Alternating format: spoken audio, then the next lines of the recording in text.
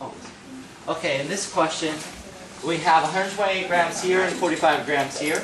We want the volume here. So this has to be a limiting reactant problem. It is because there's information given related to moles that are of two or more reactants, in this case two. So we're con- do you want me to do the math on this or just the concept?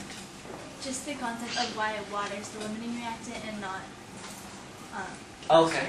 Okay, so you would take 128 grams times by the molar mass, uh, whatever that is, of calcium carbide. And then you would say there's one mole of calcium carbide for every, if this is balanced right, I'm assuming it's balanced correctly, one mole of acetylene. This gives you moles of acetylene, C2H2.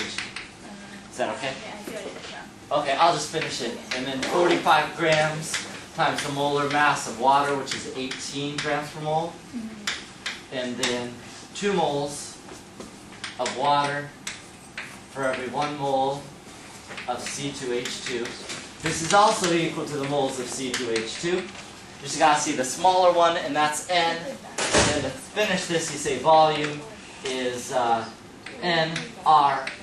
over P.